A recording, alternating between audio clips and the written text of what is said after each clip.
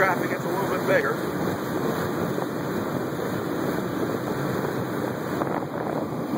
We're probably here.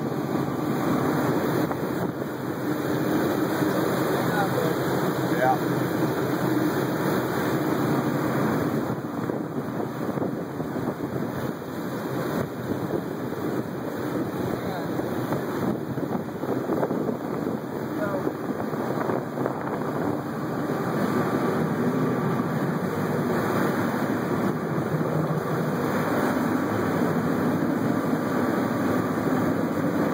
That. It's fine.